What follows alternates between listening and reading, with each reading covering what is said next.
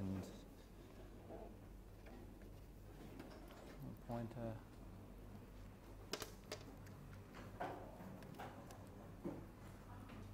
And the first examples will be on, start, oh, uh, we're looking from starting from the short range up to the long distance wireless communications. So we've got two different topologies, point to point and point to multi-point. First, what about short range wireless communications? We said that some technologies are built for communication across centimetres, metres, and we said that last week. So remote controls, uh, communication between portable devices, between cameras, phones, mobile uh, uh, headsets, earpieces and so on.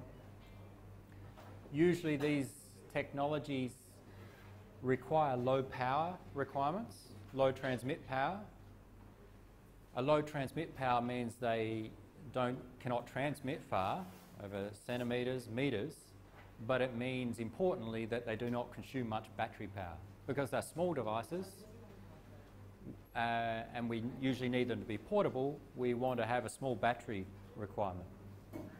So low transmit power, range of up to metres. In some cases, there's some high data rates, but in most cases, compared to the next technologies we'll look at, they are relatively low data rates. Several megabits. Some are built specifically for low data rate communications, where you just want to communicate a small amount of information uh, and not so frequently.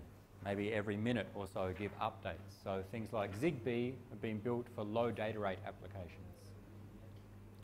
Some of them use the common unlicensed 2.4 gigahertz frequency band that wireless LAN also uses, and there's some other frequency bands also used, like infrared, ultra wideband uses a, a large range of frequencies. So we have short range wireless communications, which we mentioned last week.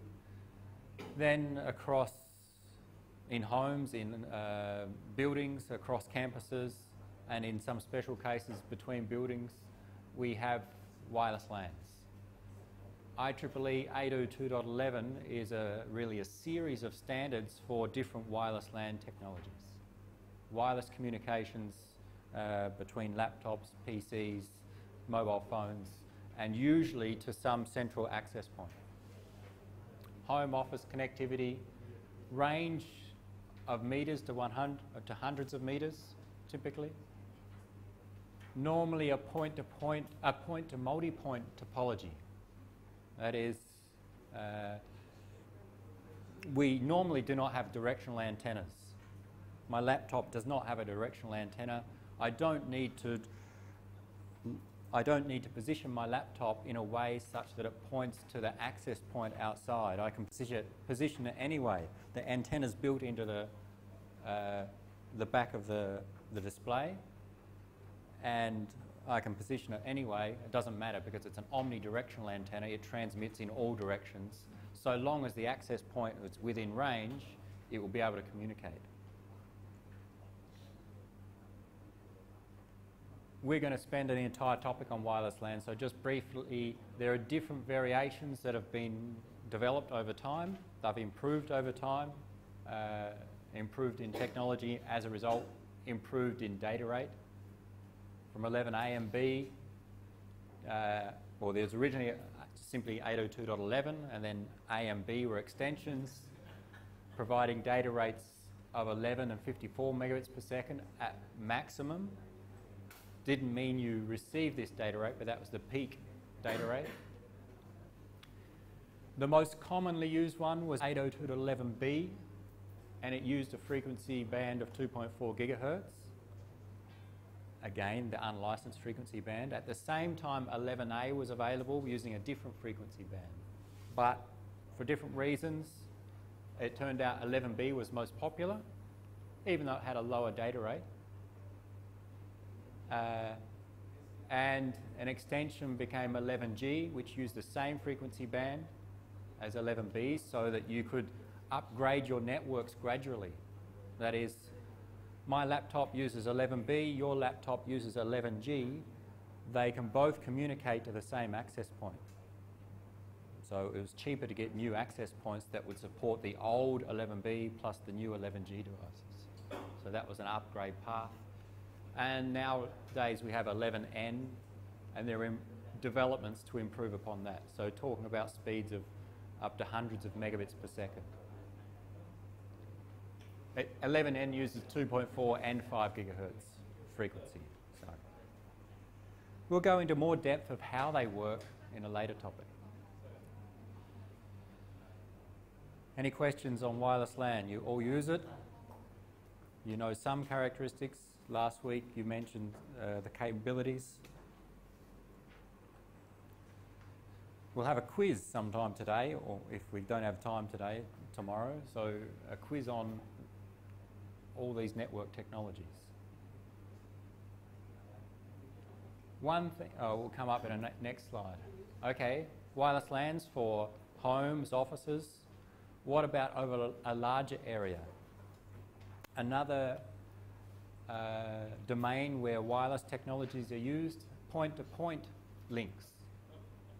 So connecting, usually over a wide area network, connecting two sites together point to point. So now we're using directional antennas. We take one antenna and point it at another antenna to create a wireless link.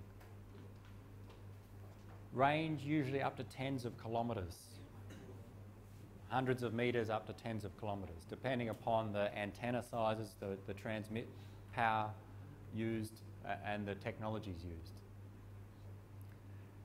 Perhaps in the past, there wasn't a one common standard for using these point-to-point -point wireless links. There were some proprietary products. So one company would have their own technology, another company would have their technology, and they would not work together.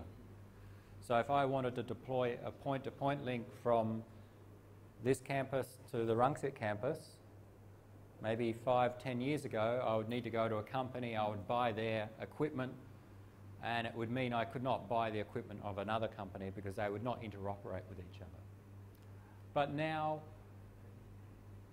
variants and or, uh, IEEE 802.16 has become a standard that is popular for point-to-point -point wireless links.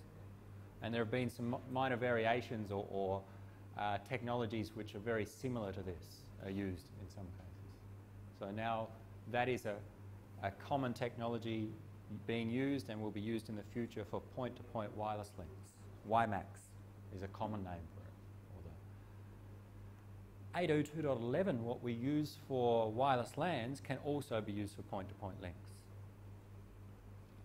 Although it was designed for uh, inside offices and so on, it can be easy, well, it can be uh, used for a, a long distance link if it's set up correctly. The purpose of these point-to-point -point wireless networks is to replace point-to-point -point wired links, especially wide area network links. We mentioned technologies called PDH and SDH. PDH, we use a copper wire in the ground, usually provided by a telecom company, and we lease that from them, pay per month to use that, and we get data rates of 2 uh, up to maybe 34 megabits per second, depending upon the level that we choose. Well, instead of leasing that copper line, or if there's no copper link available between two locations, we can use a point-to-point -point wireless system. Put an antenna on, uh, on the buildings at both locations, point them at each other, and for example, using WiMAX, create a link between them. So as a replacement of wide area network links using wired technologies. Typically, they are fixed devices. That is, we put the antenna on top of a building or on a tower, it's not moving. So it's not providing mobility, it's providing uh, service for fixed communications or, or fixed locations. And use highly directional antennas. That is, we need to go to the top of the building, put the antenna and have it aligned correctly so that it points at the receiving antenna. If it's misaligned, then it will not transmit a signal in the right direction and the receiver will not receive a high power signal and will not be able to understand the communications. So it requires some setup. Some WiMAX, as an example, can provide speeds up to, in theory, around 70 megabits per second, and there have been improvements to go even faster, or a range of 50 kilometres. So with WiMAX, you can actually choose the speed or a range. That is, if you want 70 megabits per second, you can use that, but it won't be over 50 kilometres. It may be over 10 kilometres or so. If you want a distance of 50 kilometres, you won't get the full data rate.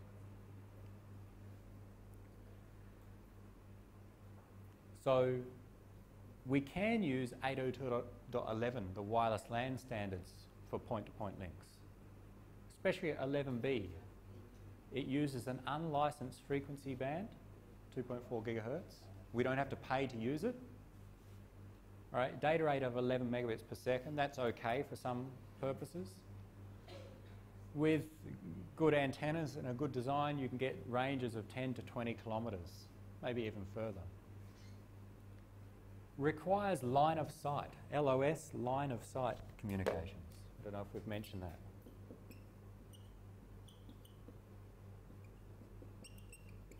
An NLOS, non-line of sight. What that means is that, that the transmit and receive antennas need to be able to see each other. That is, there shouldn't be any large obstacles between them. So we have a fixed wireless link between our two campuses. So there's an antenna on top of this building and some building at Rangsit.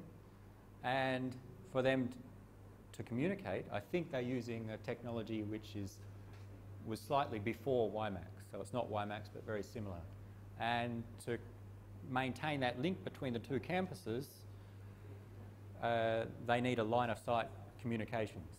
If someone comes and builds a building, where are we, in Toshiba, and it's 10 stories high, and it now is between our two antennas, we may not be able to communicate between the two campuses.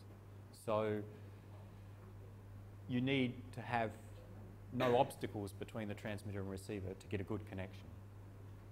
That's why you, see people put the antennas on top of buildings or on top of other towers to get the height such that no other obstacle will be between the transmitter and receiver. If you get trees between transmitters and receivers, then the range can be reduced to some extent.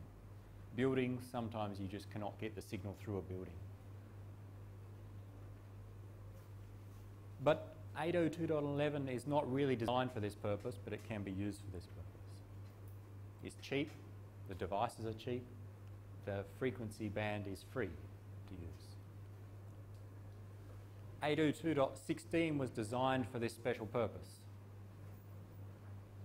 It allows higher data rates, uh, these, are, these are approximate values, and ranges of 10 to 20 kilometres.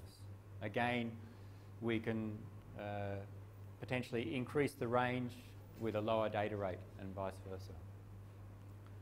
And uses a, a licensed frequency band around 11 gigahertz. In fact, in 802.16 or WiMAX, there are several different variations and you can use different frequency bands. But the main one for line of sight communications for fixed, the point-to-point -point links is 11 gigahertz. There are also, you can use the WiMAX in a, a point to multi-point communication setup using a different frequency band. Also, some of these are licensed, licensed spectrum, lower data rates, but can provide non-line of sight communications, similar to a mobile phone setup. So you have a tower, some WiMAX antennas on it. Anyone within range of that tower can communicate to that antenna with their WiMAX enabled device. So considered similar to a, a mobile phone based network for data services, not for uh, uh, telephony services. So there are different variations of WiMAX available. Because it's licensed a licensed frequency band, it's expensive. That is, you need to pay for a license. Uh, so, same with mobile phone systems, you need to pay for a license, so there's a high cost involved of setting up such a network. It's not something that you and I can do to connect our friends' homes. We could do that with 11B, but not with WiMAX. And the technology is uh, more complex than 11B. The transmitters and receivers are much more expensive. So some examples of point-to-point -point fixed wireless communications. What else have we got? Satellite. Okay, we can transmit between earth stations and a satellite which basically repeats the signal and transmits down to an earth station somewhere else on earth to create effectively a point-to-point -point link. So instead of having a cable between the two sites, we can go via a satellite, especially when we want to cover large distances and we, uh, or we cannot deploy the cables between the two the sites because it's because of the terrain, because of the, the country and different factors. And we can also use satellites in a point to multi-point topology. Have a transmitter on the ground, transmits a signal up to the satellite. The satellite transmits down in a broadcast mode. Anyone within the footprint of the satellite receives the signal and, and has the data. So satellite TV is an example there. And satellite internet access, IP Star uh, uses, what is it, Thaicom, a, a Thailand satellite to provide internet access to consumers across Asia and Oceania. So for internet access, TV, radio broadcasting, some cases of using a telephone in remote locations where you don't have mobile phones or fixed landline phones. Any questions? We're going through this reasonably quick because some of it, we've mentioned satellite technologies in ITS 323 and it's not too complex. Uh, just give some examples of the different wireless technologies we can have available. What's the problem with using satellite internet? What's the problem with using normal internet services over a satellite link?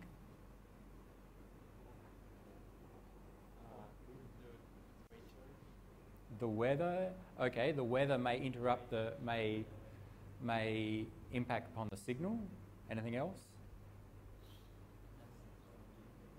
What do you think a problem is if you need to access Facebook or play an online game when you're using IP Star as an internet, satellite internet provider? Delay. Satellites, the satellites normally used for internet access are geostationary or in a geostationary orbit. They are a long way away from Earth, 36,000 kilometres is the orbit of, above Earth, so or uh, away from Earth. So that results in a propagation delay of around 120 milliseconds to get to the satellite to transmit up, and another 120 milliseconds down. So one quarter of a millisecond to send your packet from the Earth station to here. So that delay contributes a lot to the end-to-end -end delay. So plus other delays inside the network. And when you send a request for a web page and then receive the response, then that can add up to seconds eventually. So the delay is a, a major limitation for some applications. And you just cannot avoid that. The, the distance, the propagation delay cannot be overcome.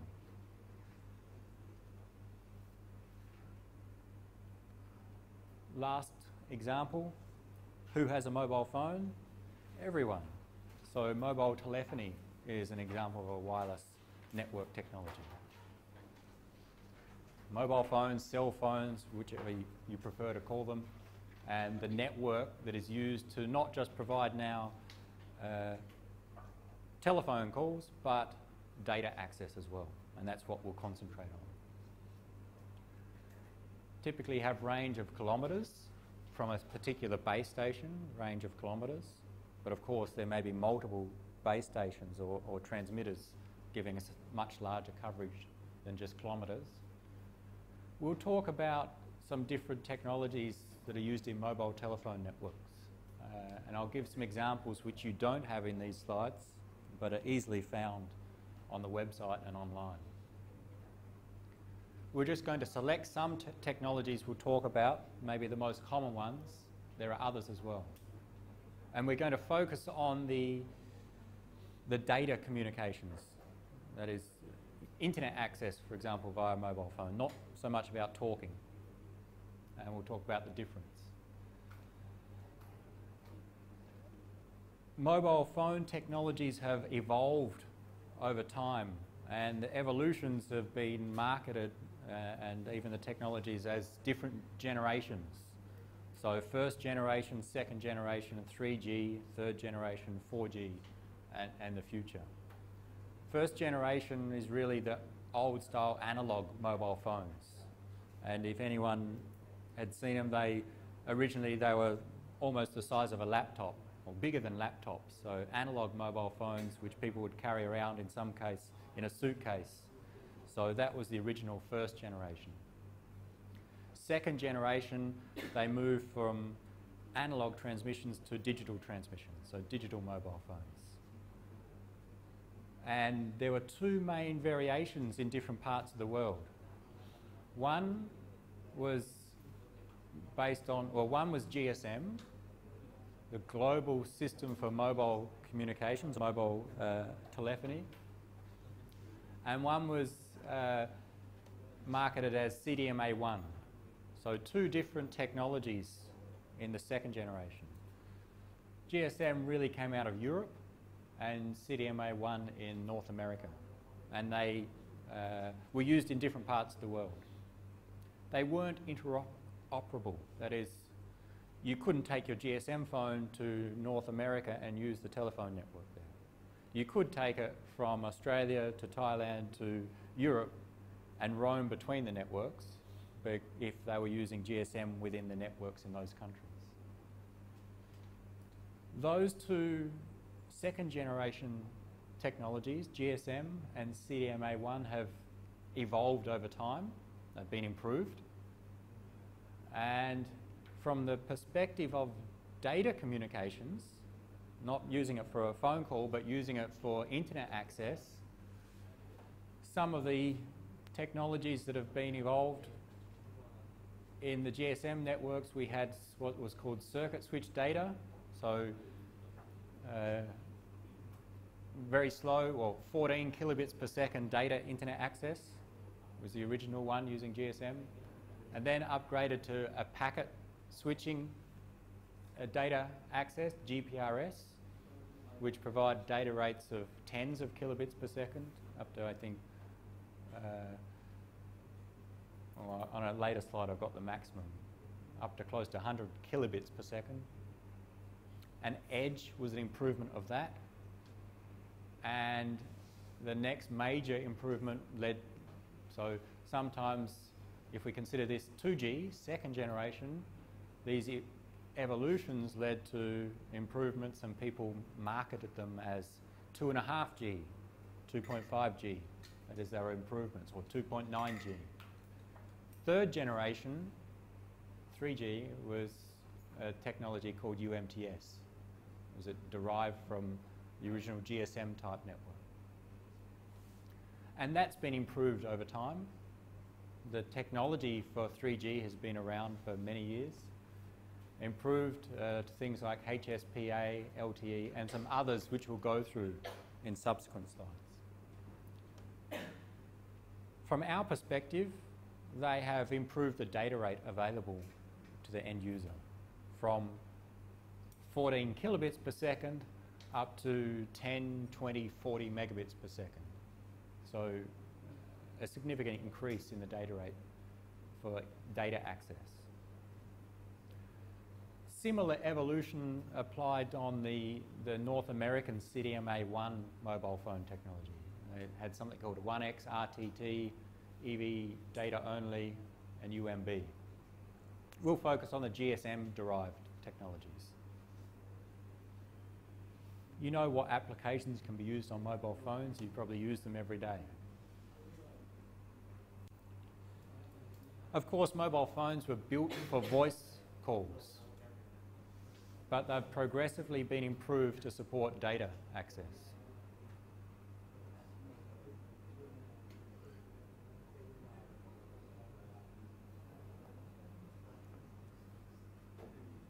Let's look at the basics of a mobile phone telephone network and to explain some of the, the differences between the technologies.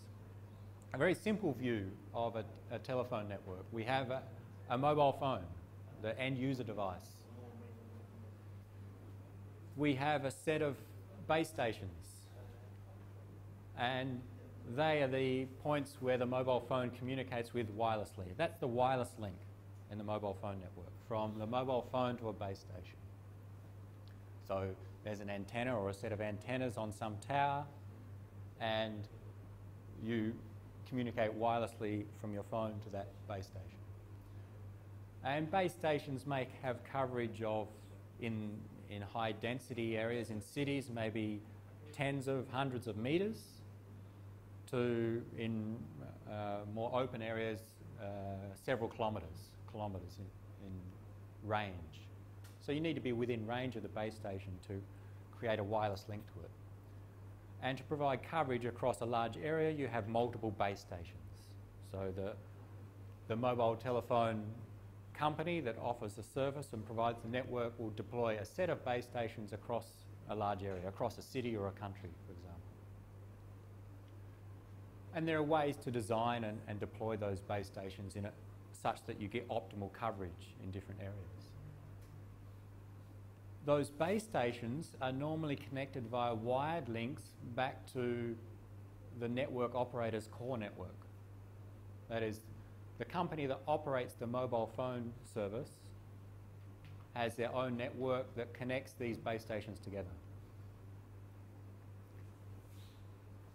When you make a telephone call, it goes via the wireless link to the base station, through the wired links, through the operator's core network, and it should, if you're calling someone on a fixed telephone line, it will go out to the public switch telephone network, PSTN, and then out to the destination on the other side of the world, if, you, if that's the destination, a callee. So there's some gateway that the network operator manages that connects to some public telephone network. Uh, who's your mobile phone operator of choice? Uh, true. True. So let's say True has some base station and we have our mobile phone and True's network, uh, I'll draw it a bit better. So the same as here.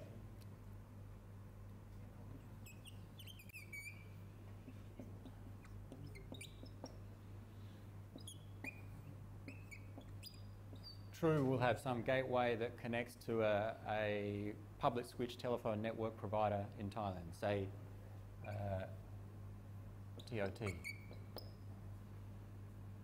which then has a network either across, across the country but also has links to other telephone operators in other countries, in Singapore, in Hong Kong, and elsewhere. So this is from the telephone side of the network when you make a phone call. But we want to focus on the data access. Okay, what happens when you want to access websites via your mobile phone? Then with the current setup of mobile phone networks, there's a separate gateway that goes to the internet.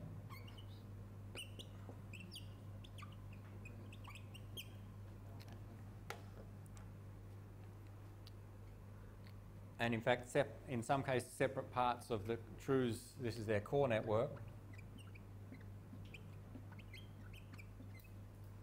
may handle the data that's going out to the internet. That is, when you access websites via your mobile phone, it goes to the base station over the operator's core network and then to a gateway which connects to some other internet service provider which then is out onto the, the general internet. The phone calls use circuit switching.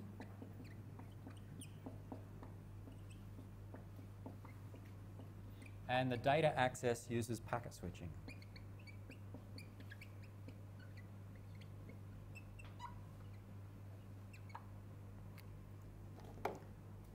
So when you make a phone call, you, if your phone through the operator's network sets up a circuit all the way to the destination. The same with a normal landline telephone.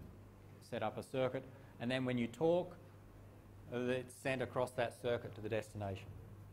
When you access a website, your phone sends packets to the base station through the core network and out onto the internet and come back as packets.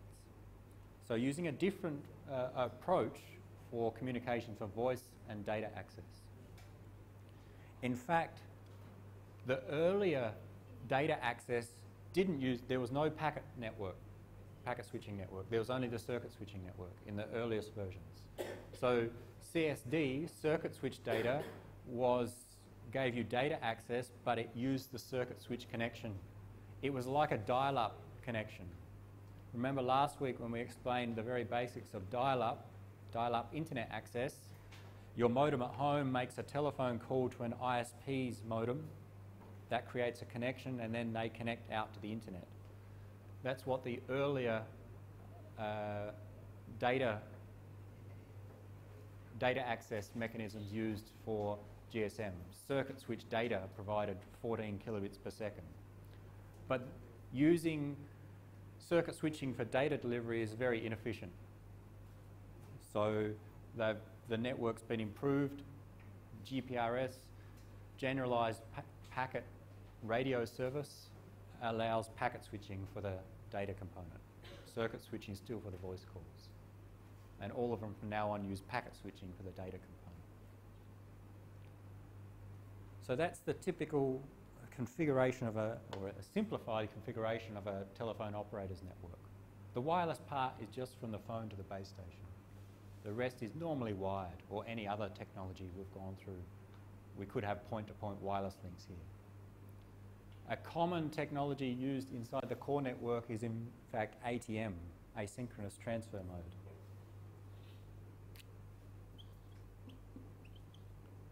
Between base stations and different devices in the core network.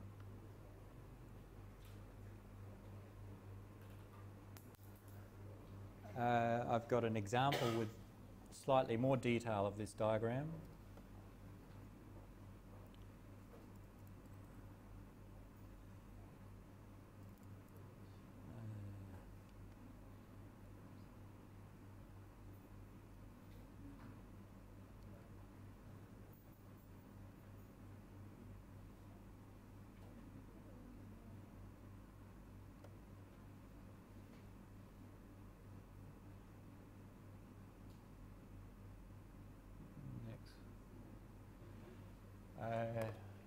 This shows the similar network but in a bit more depth and, and identifies some of the components.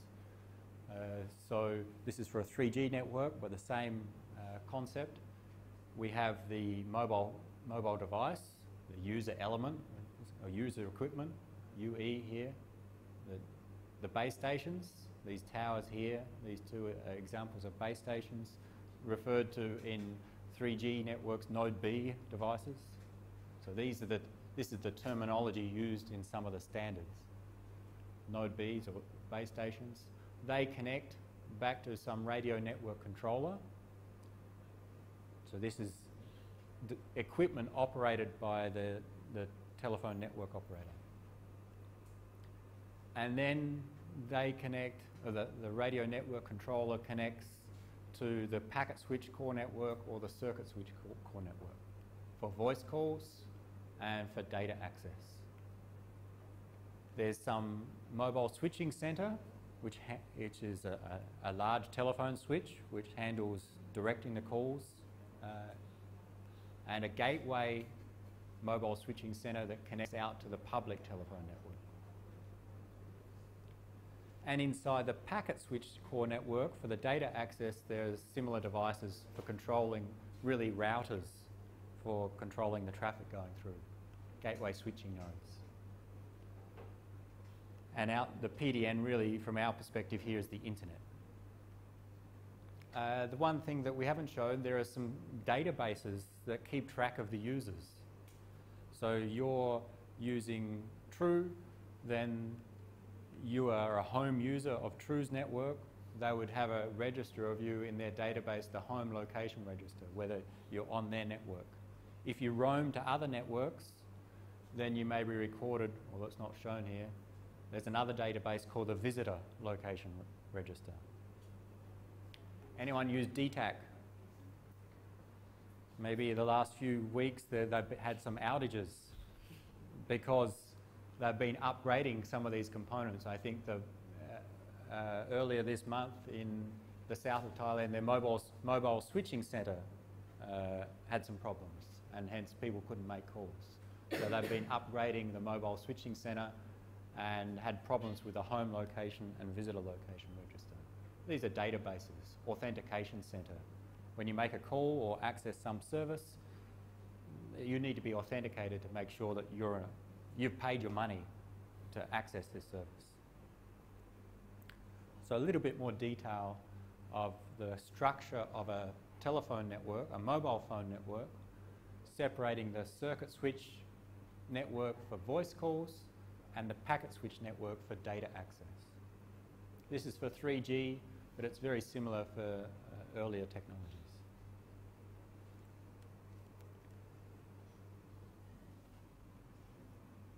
Let's go back to our lecture notes. What's next? This gives some of the data rates for the technologies that have been derived from GSM networks. Starting from circuit switch data, which in fact use circuit switching, maximum data rate of 14 kilobits per second. So uh, not very useful for today's applications. Upgraded to a packet switching technology, GPRS, which was then enhanced to Edge, and talking about data rates, download data rates of hundreds of kilobits per second, upload of 40 or 120 kilobits per second. This shows download, upload rate. So there may be differences between upload and download. GPRS and Edge were extensions of GSM networks. So still most telephones uh, or most networks support GSM. That's considered a second generation technology they were really soft, we can think of software upgrades to GSM networks. That is, in terms of changing the network structure, not much had to be done for the operator to upgrade from GPRS to Edge. It wasn't a large upgrade of the network and therefore wasn't expensive compared to other approaches. Moving from second generation to third generation, which is moving from these, these GSM-based GPRS and Edge to the third generation, which is an example is UMTS, requires a significant upgrade in the equipment in the network. The base stations, those different devices that we showed in the previous diagram, the mobile switching center and so on, need new technologies. So that's why, one of the reasons why operators upgrading from the old telephone 2G to 3G is a large step. It's expensive to do. UMTS officially provides a download speed of 384 kilobits per second. But again, there have been extension, extensions of that, make it faster for data access. Some of the extensions are under the High Speed Packet Access, HSPA name. There was an extension to up to increase the speed for the downlink, HSDPA, up to 14 megabits per second, and increase the uplink up to 5.7 megabits per second, and HSPA plus downlink 42 megabits per second, uplink 22 megabits per second. And there are improvements further than that. There's some, one up to 80 megabits per second. And a further enhancement, long-term evolution, LTE, providing and requiring usually a significant upgrade to the network. Once you have a 3G network in place, moving from here to HSDPA, HSUPA, HSPA is not a significant upgrade. It's more of a software upgrade on most of the devices. But moving from UMTS and these to LTE requires again some significant hardware upgrades in the network. So it's costly for the operator and will take time. But possible to reach download speeds of several hundred megabits per second in theory and uploads of tens of megabits per second.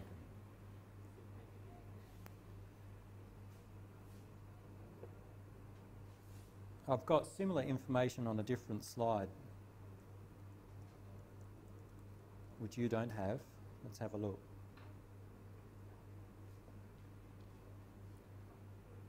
Uh, what's this one? This summarizes some of the different technologies. Uh, we've spoke about, we mentioned just before Edge, which was a, a data service for GSM, and UMTS, which is the 3G, uh, or a common 3G uh, technology, third generation, and its extensions, HSPA and LTE. This table also lists some other technologies. CDMA 2000 was deployed as a, uh, a third generation technology in the Americas, North and South America, whereas Edge was an extension of GSM, which was much more widespread, most of Asia, Europe, uh, Africa, and so on. DECT is something that's been used mainly for cordless phones so we won't worry so much about that. And WiMAX comes in here as well. We said before, WiMAX can be used as a service in a point-to-multipoint configuration, where you have a tower, mobile devices access that tower. The same configuration as here. Not for mobile phone calls, but for data access. So it's an alternative technology. This just lists some of the uh, technologies that are used uh, time division multiple access, code division multiple access, and so on. That's not a focus for us right now. And sh showing some of the more recent data, uh, mobile data technologies.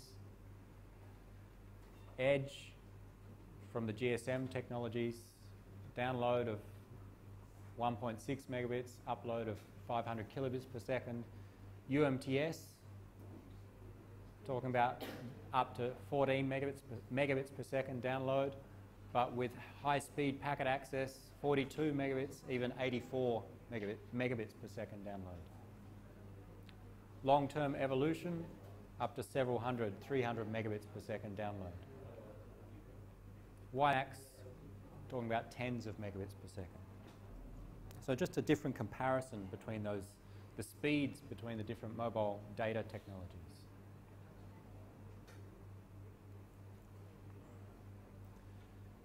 Who has 3G access on their mobile phone?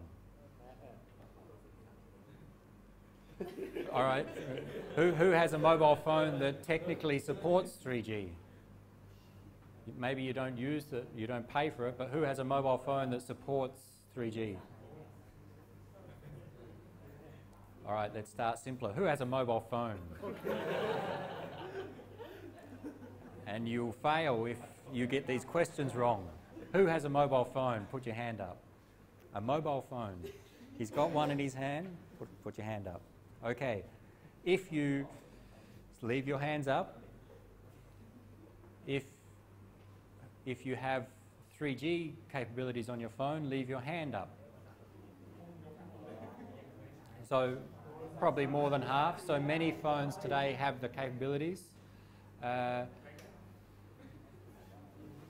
anyone?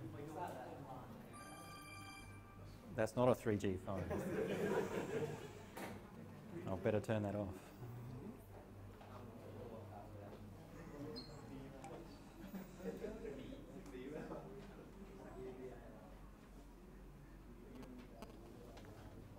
Who, who has used 3G access on their mobile phone? Okay, some people. Do you know the download speeds that you achieve? Or have you, can you compare the download speeds to, uh, is it fast? Does it change? That is, some places it may be fast, some places it's almost unbearable to use. So it changes based upon uh, the link connection, the distance you are from the base station, the number of users in the area, that is the demand for the network. Um, most likely you're using the basic UMTS, which provides download speeds of 384 kilobits per second, or possibly in some network operators have some of the improvements providing I think one is 7 megabits per second down, and in some cases 14 megabits per second down. So that's the current uh, technologies more common in 3G networks in Thailand. In many countries, HSPA is supported. 42 megabits per second is common down. And LTE is being deployed in some cases in some select operator networks. Do we have one more?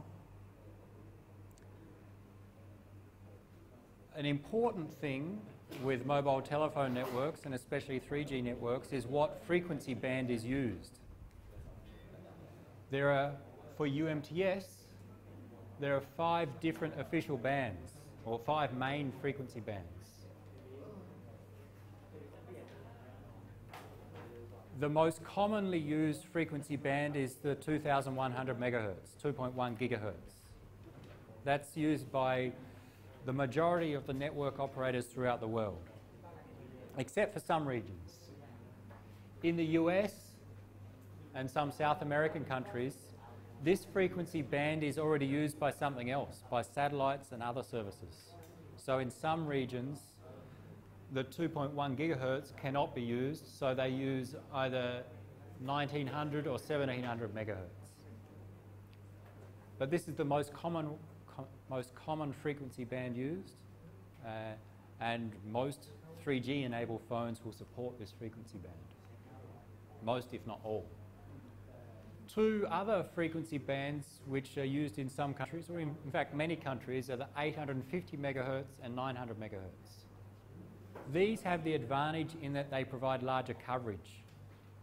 The lower frequencies we can transmit over larger distances, so therefore often used to provide in areas where we need large coverage, in regional or rural areas, outside of cities, in large countries.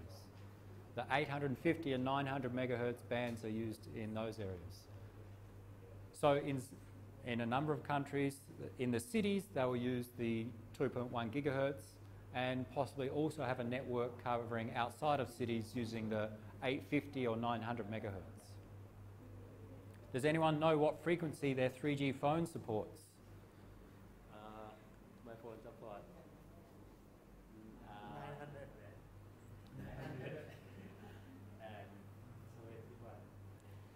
It, in Thailand at least, it becomes a little bit difficult or confusing because different operators use different, different frequency, frequencies. So there's AIS, True, DTAC. So some use 900 megahertz, some use 850 megahertz. So if you get a phone that only supports 850 megahertz, not 900, you can only use on that operator's network. Most phones support 20, 2100 plus one of these. Some phones support both of these, but the phones that support just one of them can only work on the specific operator's network. And that's why there's an issue with, well, that's one of the problems with the current 3G in Thailand and the need to upgrade the licenses so that the operators can use the 21, 2100 megahertz, the more common frequency band. All phones support that. So frequency band is important because it impacts on coverage and uh, the, how widespread it is in the, the user equipment in the phones.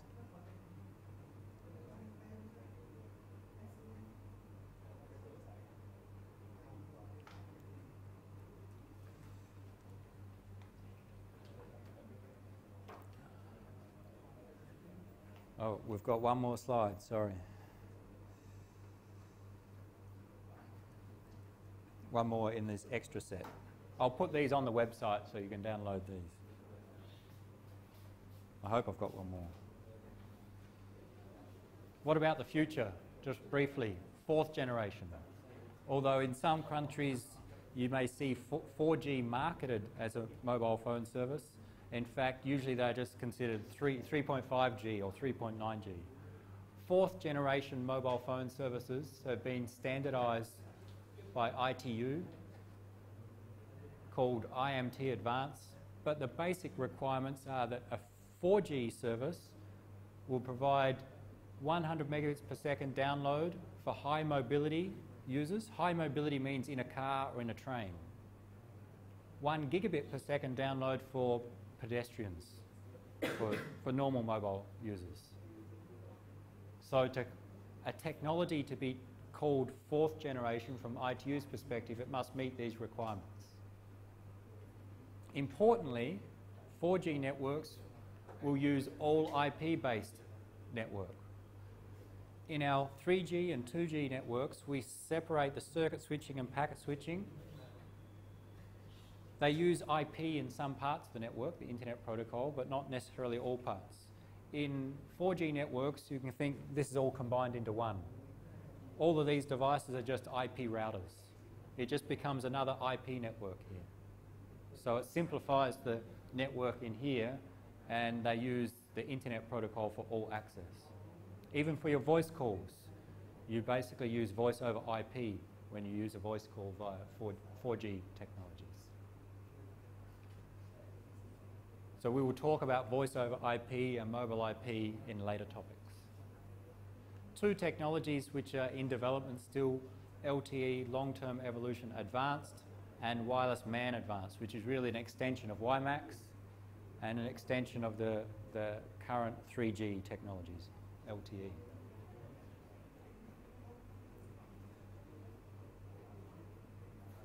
Let's summarize, because we're almost finished this topic.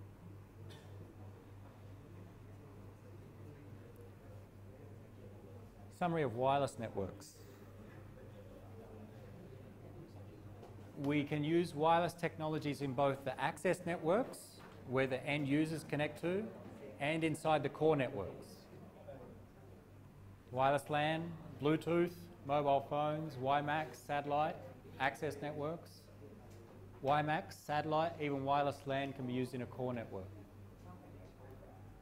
Compared to wired technologies, wireless technologies typically offer a lower data rate at the same cost.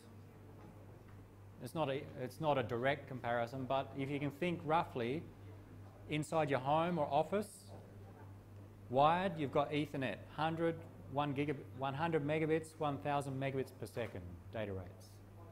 Typical wireless LAN, 54 megabits per second, maybe 100, 300 megabits per second. So about less than half the data rate for the same level of technology or the same generation.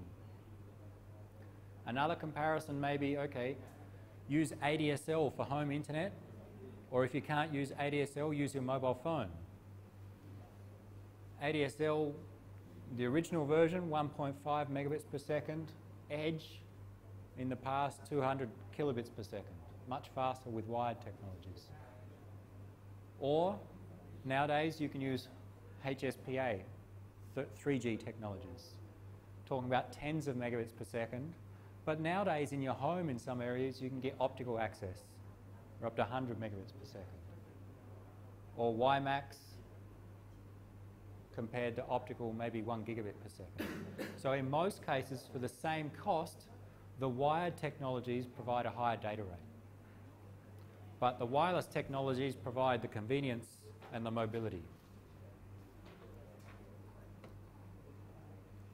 And that finishes for our coverage of network technologies. Ready for a quiz? Not yet. Not yet. We still have.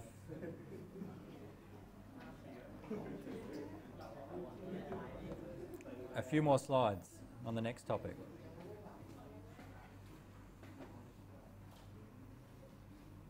Where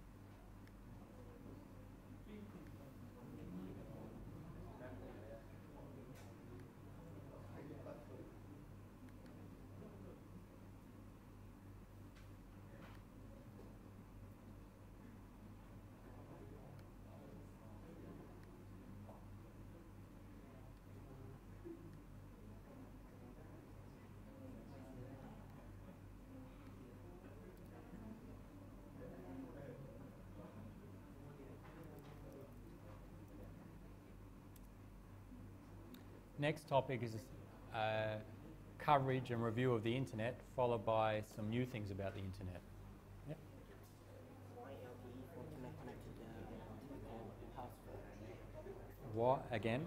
Why LTE phone cannot connect to the? I mean, it can connect to the typical house phone, but why why does it create noise? Why? Uh, why does? Why do you say? Why does a mobile phone or create LTE-based mobile phone create noise? Why does the LTE phone create noise? Con- connect making a call to a house? I don't know. That I, I don't think there would be any reason in, in the standard or in the technology that would cause that. Um, I, I, I can't think of any reasons why that would be. I can imagine there may be some problems. LTE has only been around, there's not many devices that support it yet. Maybe the implementations are not so good, but I cannot think of why uh, there'd be some incompatibility between an LTE mobile phone and a landline home phone. Have you heard about it? Yeah, you just don't hear anything. Uh, the, I mean, LTE uses the same structure. That is, here's your mobile phone, it connects here. Once it goes out here to the, to the landline telephone, the landline telephone doesn't even know it's a mobile phone calling. It's just another connection to the phone. So, in theory, it should work perfectly. In practice, there may be some problems with implementations, maybe. And it may be problems with the network operator as well.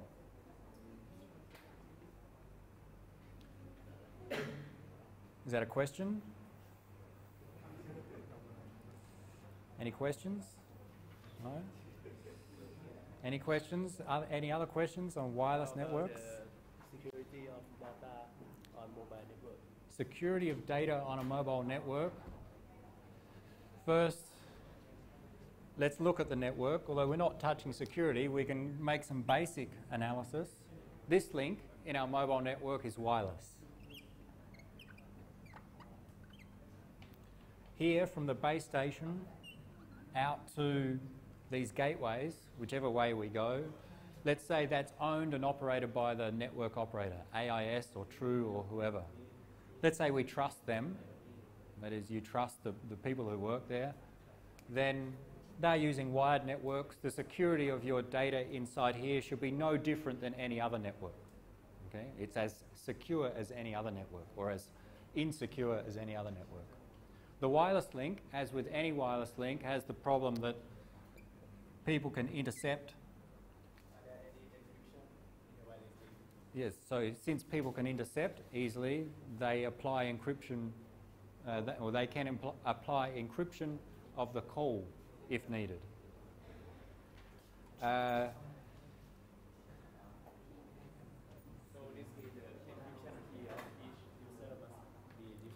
they, uh, not just encryption, but the other thing is authentication to make sure that the person making the call is who they say they are. It's not me pretending to be a subscriber of AIS using their network but paying them no money. So the security of encryption and authentication, uh, the SIM card plays a role in providing some authentication or identification information. Um, there have been reports or there are ways that people have uh, created a fake identity. So you program a special SIM card so that you pretend to be someone else. But in practice, it's quite hard to, to break the security. It's possible, but very hard because to do so, you need expensive equipment. Compared to, say, wireless LAN, in wireless LAN, if we get a chance, you will see that it's very easy to break the security of wireless LAN networks. We can, I can listen in to everything that you send across the SIIT wireless network. But with mobile phone networks, it's relatively secure compared to other wireless networks. Any other questions? Everything okay? Good.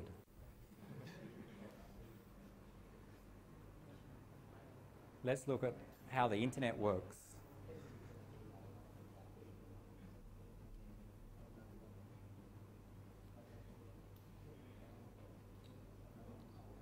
But you know you know the basics of how the internet works. So in fact, the first set of slides we're going to skip over. They're more for reference. So things you know. Sorry.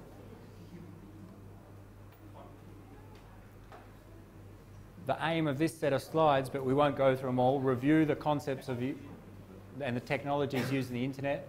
And the real thing that we're going to focus on in this lecture is look at the real structure of the internet today, a simplified view.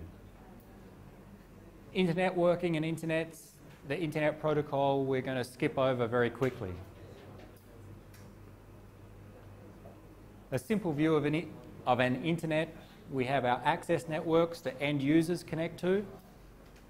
We have many of them. They connect together via core networks.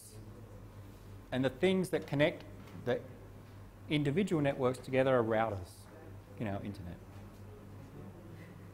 So this is stuff we already know. The Internet Protocol, IP, again, you've covered this in ITS 323 and we're not going to repeat it again. I assume you know it all. But we don't need to remember too much about it to understand how it works. That we have routers that use datagram packet switching. It's a connectionless protocol and we basically, from a source, create an IP datagram, send to a router, send to the router, router until it gets to the destination. IP addresses, I don't think you need to remember the exact structure, but you know the basics of IP addresses for this course. So let's skip through quickly, because I think you'll study this in your own time if you can't remember. Sometimes we'll refer to the IP datagram. So here you can look back. If you can't remember the structure of it, we know it's here. Uh, IP addresses. IP addresses, we have address mask or subnet mask. And the address has two parts. One part identifies the network, one part identifies the host. and there are some special cases. Okay, that's coverage of the internet protocol. What we want to focus on is how, how is the internet structured today? And by doing this, we'll introduce some new concepts uh, that you haven't seen in, in previous courses.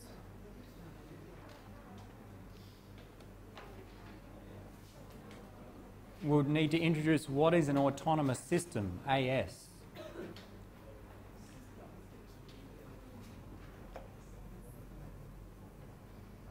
If we draw a simple, simple internet,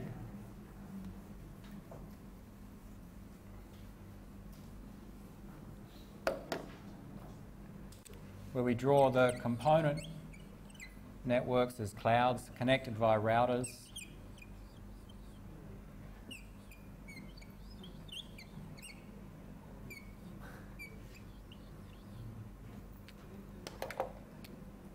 No need to draw this, I don't think.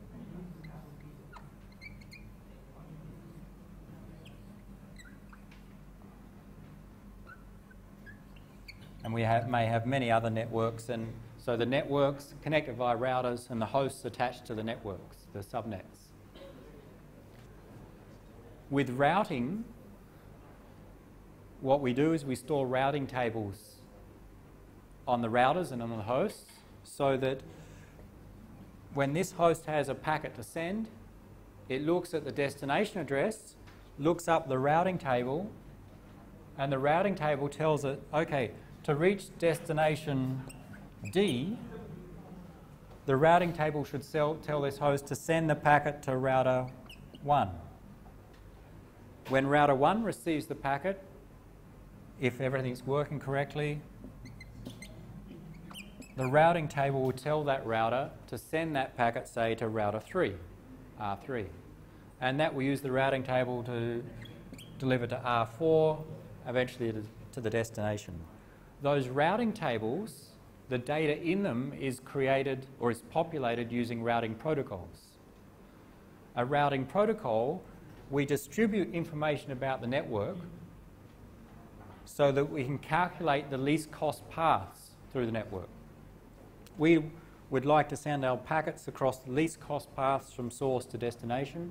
A routing protocol distributes information between the routers such that they can calculate those least cost paths. Once they calculate the least cost path, they store the data in the routing tables. That's how it works, and that's what we've covered in, in a previous course. So in this internet, one way to do that is that, for example, this router would send packets to all other routers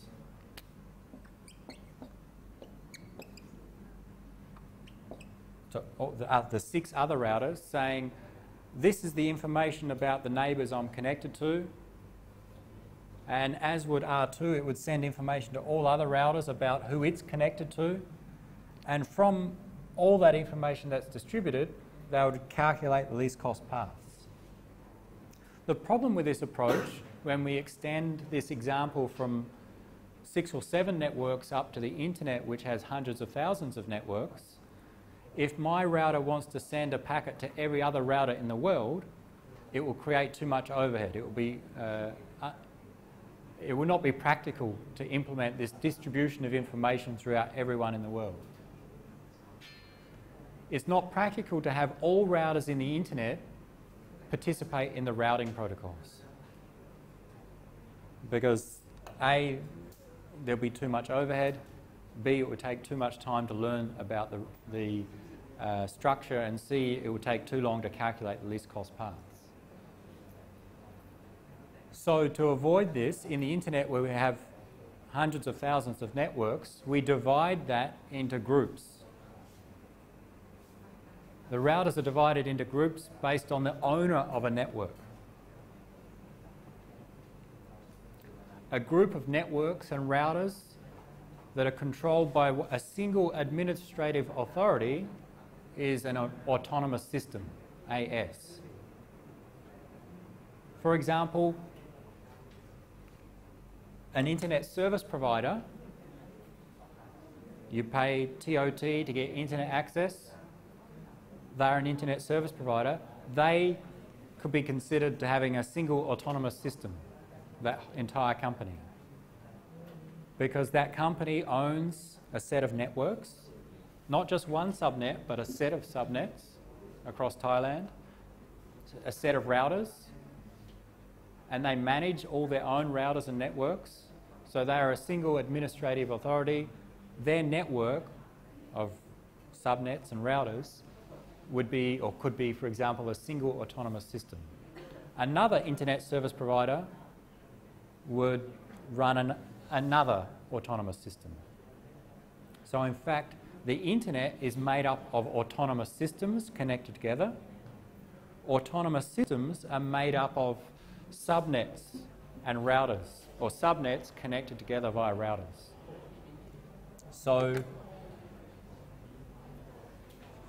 although our network is not so big here, it could be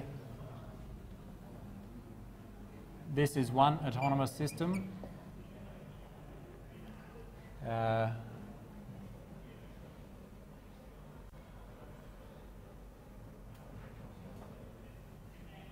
this is another autonomous system.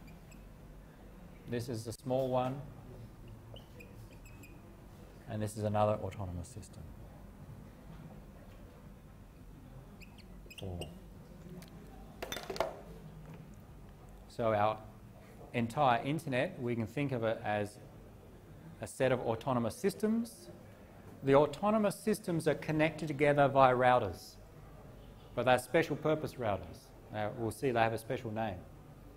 So this autonomous system connects to this one.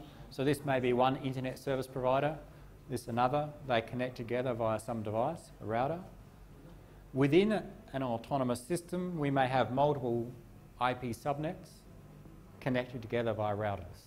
And of course, may have hosts attached to some of those IP subnets. So this is something new, the uh, concept of an autonomous system. Each autonomous system has a number assigned to it, a unique number assigned by the Internet Assigned Numbers Authority, IANA. So the same organisation that uh, effectively manages IP addresses also allocates autonomous system numbers, ASNs, to organisations.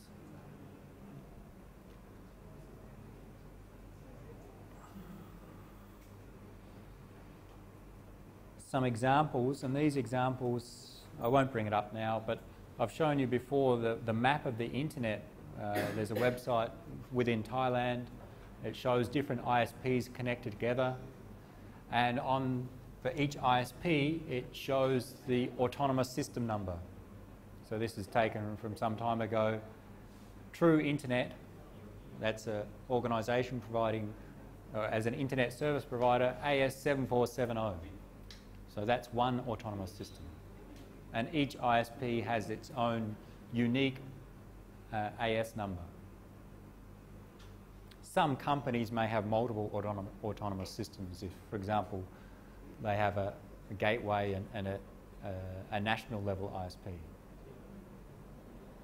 Again, this is several years old now, but it's updated on, or it's, it's newer on the website. Uh, so at this three years ago, uh, the number of autonomous system numbers in Thailand was about 200, probably larger now. So 200 organisations which own and operate an autonomous system in, inside Thailand. And each autonomous system may be multiple different subnets with different subnet ranges or, or address masks. And of course, the same in other countries.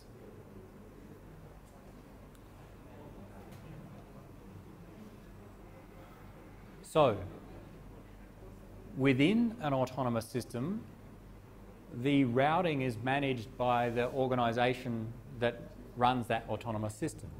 That is, one company owns this network. They provide routing inside this autonomous system. That is, these, well, router 4 and router 7, there's only two here, exchange information with each other about their connectivity so that they can determine the least cost paths inside this network. This example is not so good because it's quite small. The least cost paths are very simple.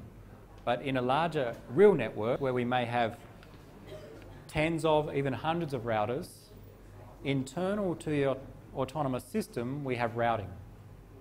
Routers exchange information, create their routing tables such that we'll have least cost paths through the network.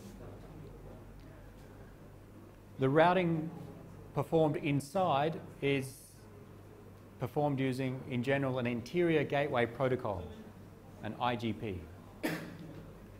gateway means the same as router in the terminology we use here. Where you see gateway, you can think router. This is a gateway or it's a router. at least in this, this uh, domain. There are different IGPs available. There are different routing protocols for internal for an aut autonomous system. Some of them RIP, OSPF. If you're studying Dr. Komwut's course now, you may see some of these in more detail, these routing protocols. They are used by a single organisation inside their network. It's up to the owner of the network to choose the protocol they want that best suits their requirements.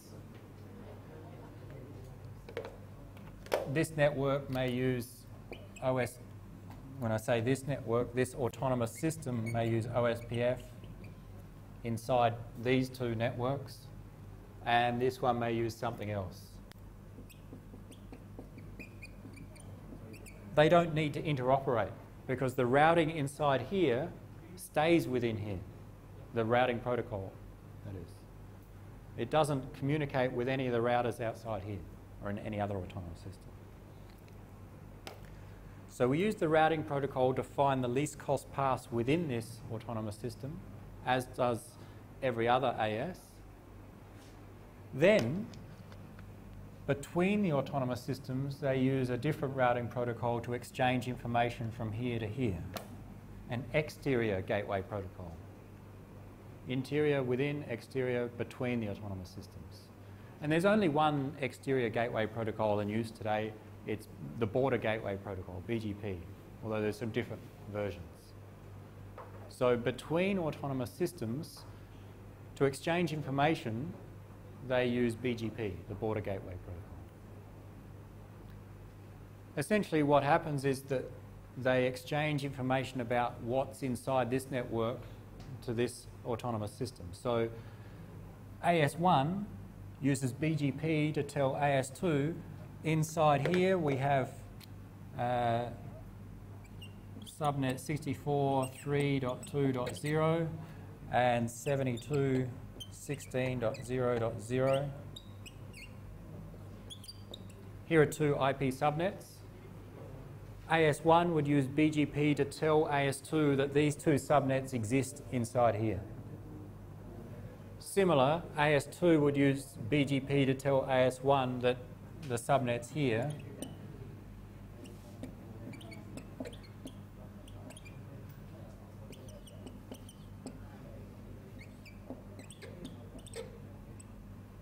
That these two subnets exist in here.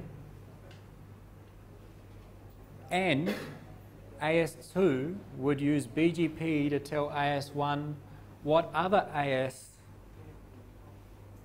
what other autonomous systems are reachable via AS2. So we can think that AS1 now knows what is reachable directly via AS2 and what, is, what other autonomous systems can be reached via AS2. AS1 will know to reach AS3, it can send via AS2. And similar to reach autonomous system 4, we can send via AS2. So they, the two autonomous systems exchange information about what's in their networks and what other networks they can reach.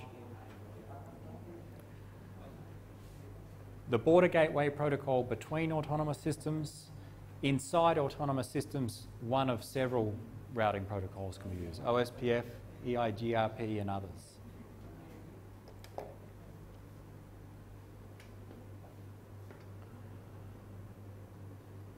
We won't go through how those routing protocols work in any detail. Just make sure you can distinguish between an interior and exterior gateway protocol, and particular that BGP is an exterior gateway protocol. It is the exterior gateway protocol used in the internet.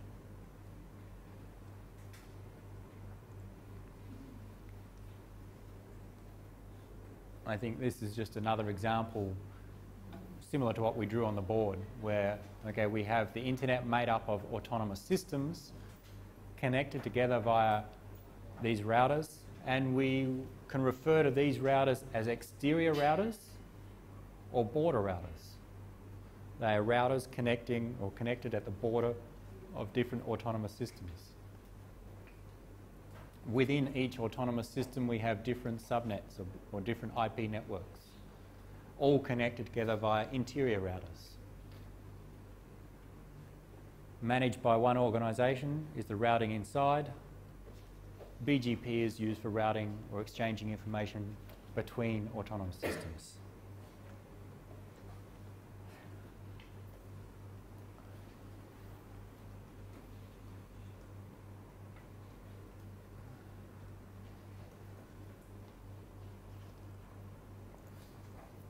How do we, so now if we look from the perspective of an autonomous system, and for simplicity for now, let's say an internet service provider has its own autonomous system. That is, TOT is an internet service provider in Thailand.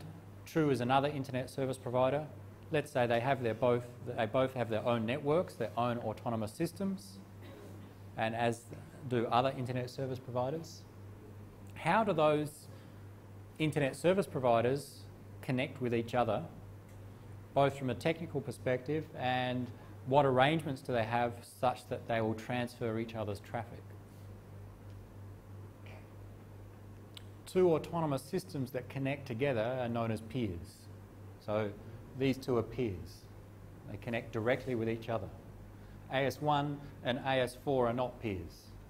They don't have a direct connection. So we, we have a physical direction between these. They have a, a shared router or they have a link between, they have a shared link between devices in each of the organisation's networks. To connect between peers, we need some physical, physical connection, some cable, some device. And in practice, that physical connection can be direct between two peers. My company and your company have an agreement. We find, uh, we create a, uh, we pay for a cable to link the devices in each of our networks, a direct connection. Private peering, that's referred to. Alternatively, there are some companies that provide a service where many peers connect into. Public peering. Public peering via an internet exchange point. So let's say somewhere in Bangkok, there's a public internet exchange point. Bangkok Internet Exchange Point, IXP, which is really a small network or a, a, network of switches. So some building with a network inside, and different ISPs or different organisations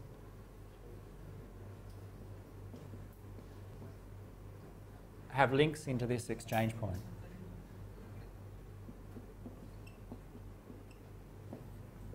And so, in some cases, many different organisations, hundreds.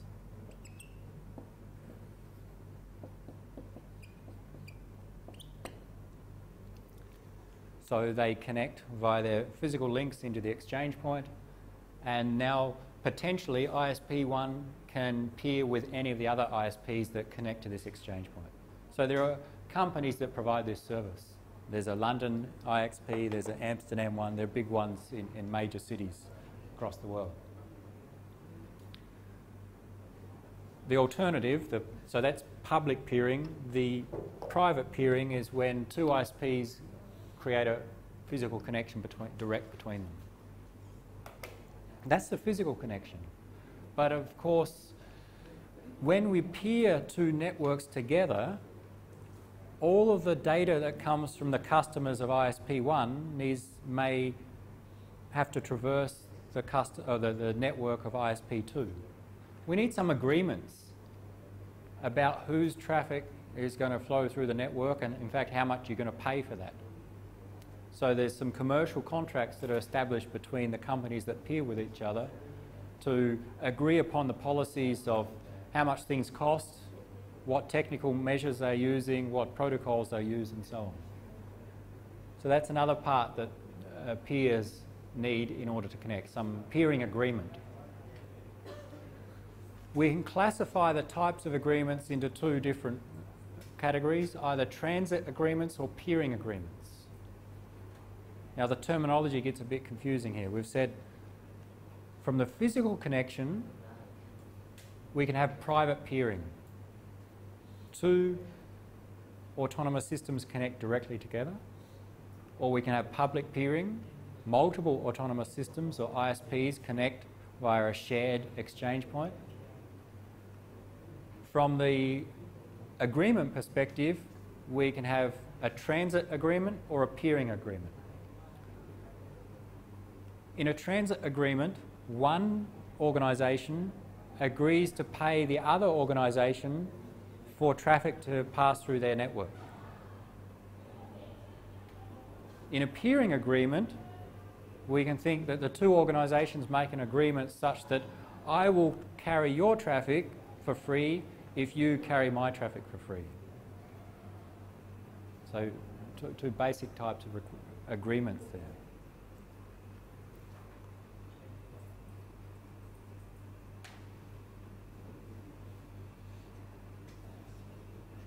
Assuming the autonomous, autonomous systems are internet service providers, we can classify based on upon the agreements they use different tiers or different levels of internet service providers.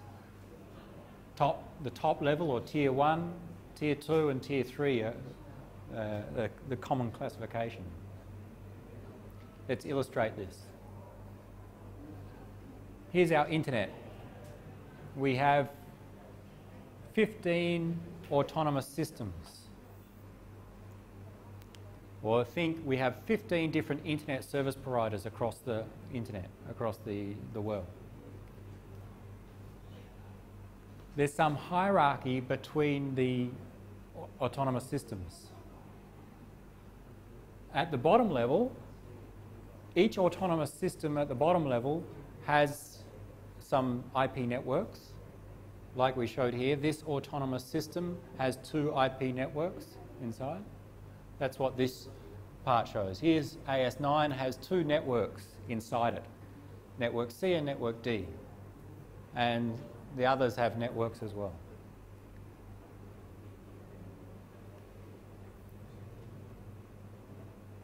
This autonomous system, and we have customers connected to these networks. Let's say you and I subscribe to this internet service provider, we may connect via network A.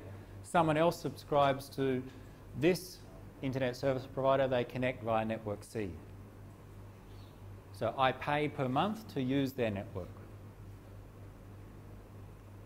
This internet service provider, all of my traffic and their other customers goes via their network and then needs to go out onto the wider internet. And where does it go depends upon where they have peer, peering connections to.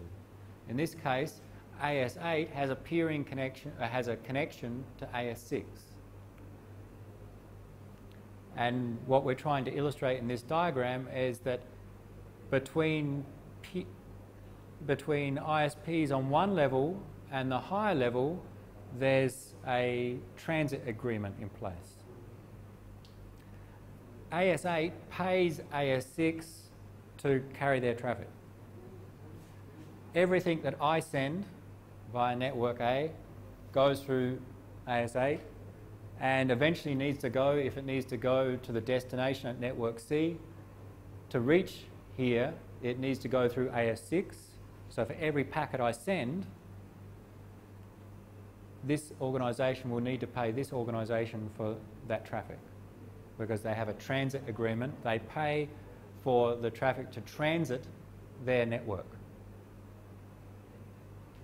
And as we move up the tiers, we also have transit agreements. This internet service provider would pay this internet service provider for my traffic to go through their network. And then it would come down to the destination. Between entities at the uh, autonomous systems at the same tier and above, we have transit agreements where they pay for the traffic to be carried. Between autonomous systems at the same level, we have peering agreements normally. And in particular at the top level. Think of this as our small local ISP in Thailand. They have 10,000 customers, small company, the customers connect there.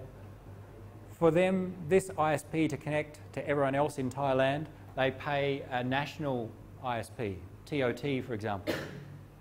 TOT has coverage across the country. This small internet service provider only has coverage in Bangkok. I connect to this small ISP, I pay them for internet access. This small ISP pays TOT for their traffic to be carried via TOT's network. So we could say TOT or this second level is a tier 2 ISP. What if we want to get our traffic outside of the country, across the world?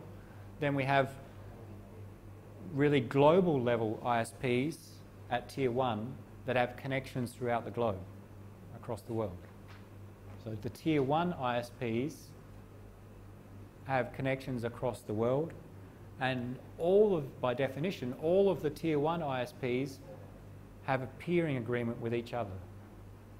And currently in the world, there's only between probably 10 and 15 tier 1 ISPs in the world. So that large companies like NTT, AT&T, and uh, a few other global ISPs. They have peering agreements with each other, which means any tier 1 ISP who wants to send traffic to, through another tier 1 ISP, they can do it for free. They can send traffic in their direction, in the opposite directions, also free. But TOT, if it's a tier 2 ISP, would have to pay this tier 1 ISP for their traffic to transit. And similar, as we move up, we'd pay the higher level ISP for transit traffic.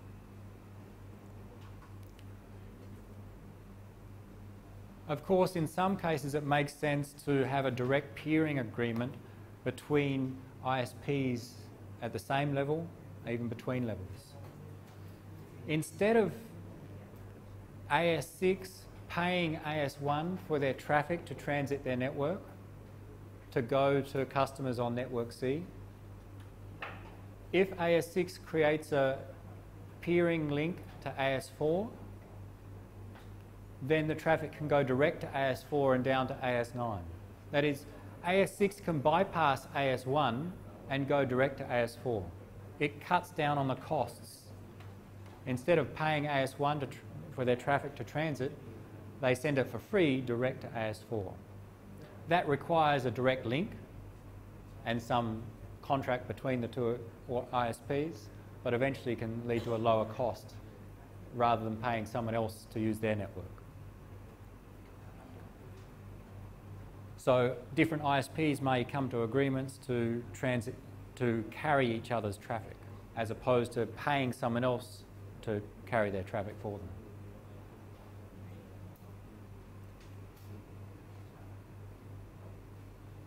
So we have tier 1 ISPs, they do not pay for transit. They have peering agreements with every other tier 1 ISP. There's about 15 in the world at the moment. Tier 2 ISPs are typically large ISPs, say national ISPs.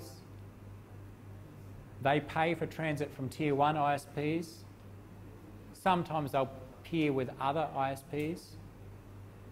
Tier 3 are the lowest level ISPs, and they pay Tier 2 or even in some cases Tier 1 ISPs to transit their traffic. You and I, and even companies like SIIT, pay one of these ISPs to use their network. So our traffic goes via one of the ISPs and then up to eventually the destination. That's a quick and uh, in some case uh, approximate guide of how the internet is structured today. It's approximate because some of these definitions vary uh, in, in different literature. But it gives a, a, an approximate guide of the structure and relationship between internet service providers. The main points each autonomous system or two autonomous systems that connect together are known as peers. They either have a private or a public peering connection. That's how they connect privately or publicly with each other. But they also have an agreement an agreement about whose traffic they will carry and how much you charge for that. And we can differentiate between transit agreements where one ISP pays another for them to carry their traffic, a smaller ISP pays a larger one, and peering agreements where two ISPs make an agreement and say, let's carry each other's traffic for free, reducing their costs at the expense of creating some direct connection between them.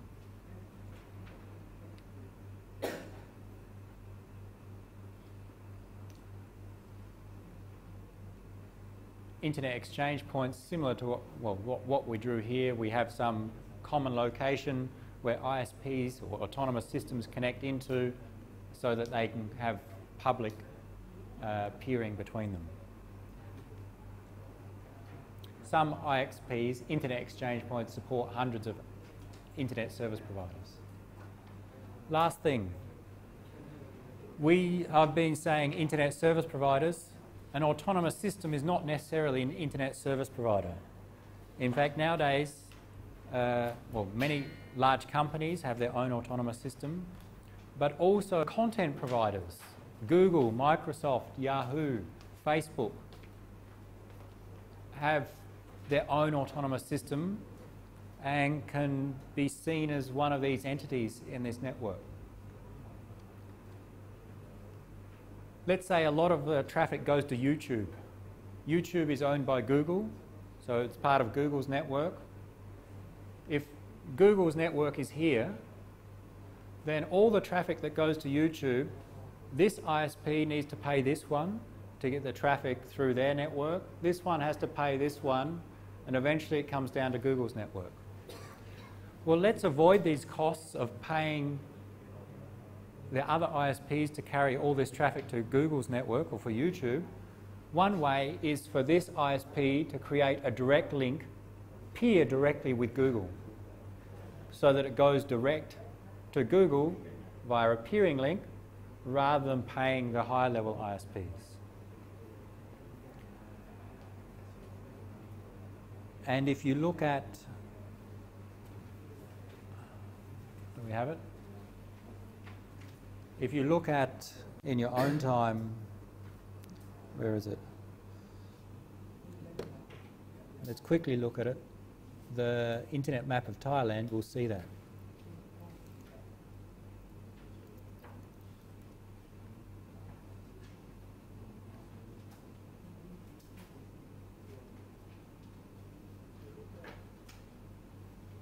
If I can log in.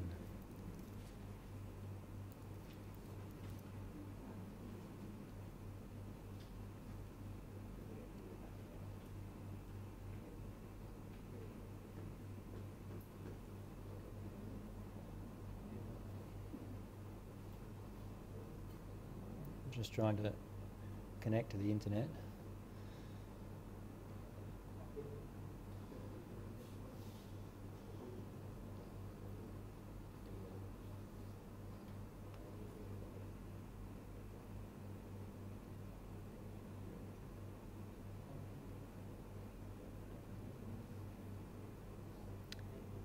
I'm talking about the internet, but I cannot connect to the internet.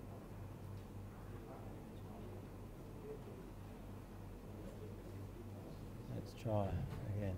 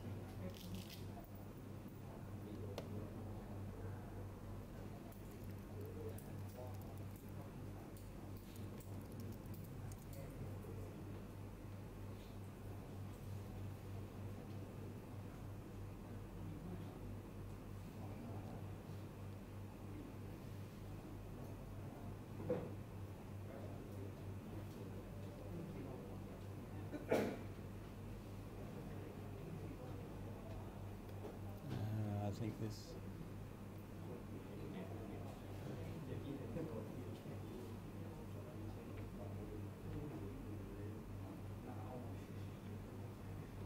map of the internet. This one's a bit old, but the latest one available. Here are some international internet gateways. So we see the autonomous system numbers, essentially different internet service providers, national level uh, ISPs. And this is showing the international connections. So these are internet service providers or organisations in other countries, in Korea, in Hong Kong, Singapore, and so on, and the links between them, and their autonomous system numbers. And we have some content, content providers also directly connected into Thailand. Microsoft, Google, and others you may recognise if you look through uh, here. I think Yahoo you'll see somewhere and so on. These content providers have created connections directly into uh, local or national ISPs such that the national ISPs no longer need to pay others for transit. And of course, we have a direct physical connection into Google. So it's faster for customers. So this is of benefit for the ISP that we don't, they don't have to pay another ISP for transit to reach Google. And it's of benefit for Google because the customers have faster access and are happier for using this content. So the autonomous systems are typically internet service providers, some content providers, and other large organisations.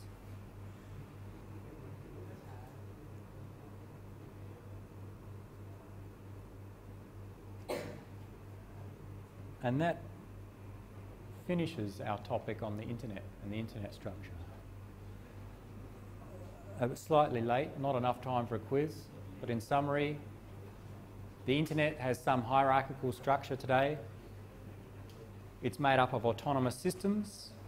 Autonomous systems are connected via border, border routers. Between autonomous systems, they use the border gateway protocol to exchange information about their systems. Within an autonomous system, routing is performed using one of several interior gateway protocols. End users, individuals as well as uh, companies, pay for transit via ISPs. We pay per month, for example, for our data to transit an internet, internet service provider. Some ISPs pay other ISPs to, for their data of all their customers to transit their network. Whereas, and in some cases, ISPs create agreements with each other to carry each other's traffic for free. That's a, a peering agreement to avoid having to pay others, reducing costs. Enough for today. We'll have a quiz tomorrow and then we'll go on and look at how wireless LANs work.